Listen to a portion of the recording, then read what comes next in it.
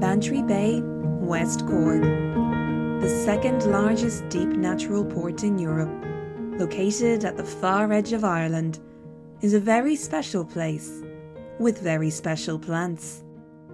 West Cork is one of the most beautiful and biodiverse parts of Ireland.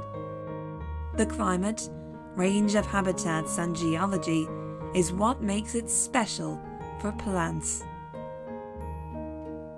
Bantry Bay has a mild Atlantic climate. Temperatures rarely go below freezing in winter, and the summers are relatively cool.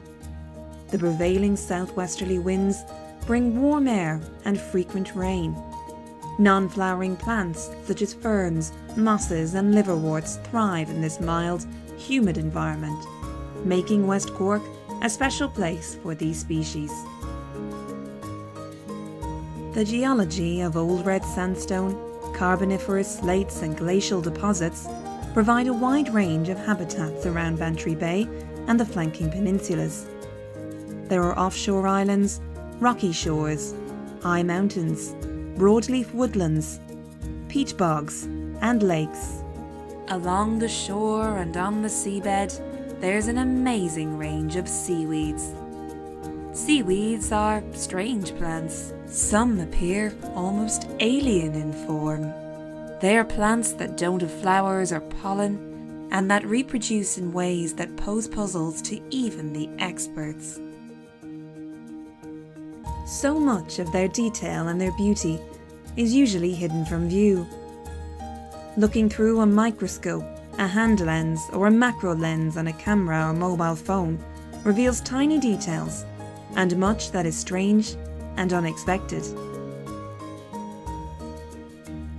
When Ireland's first female botanist, Ellen Hutchins, walked the shores of Bantry Bay over 200 years ago, she described seaweeds as a curious and difficult branch of botany. She was delighted by the beauty of many of them, but mostly interested in the science behind them. Botanists at that time were still trying to classify seaweeds and find out how many different species existed.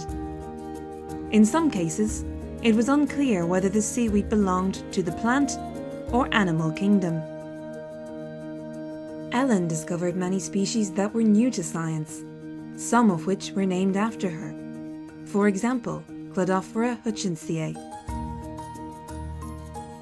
these seaweeds and many others provide an important nursery and habitat for fish, insects, and birds that feed off them, and are vital for a healthy ecosystem. Today, Bantry Bay, at the edge of Europe, at the edge of the Atlantic Ocean, is still a wonderful place to get close to coastal plant life and to see the great diversity, strangeness, and beauty of seaweeds.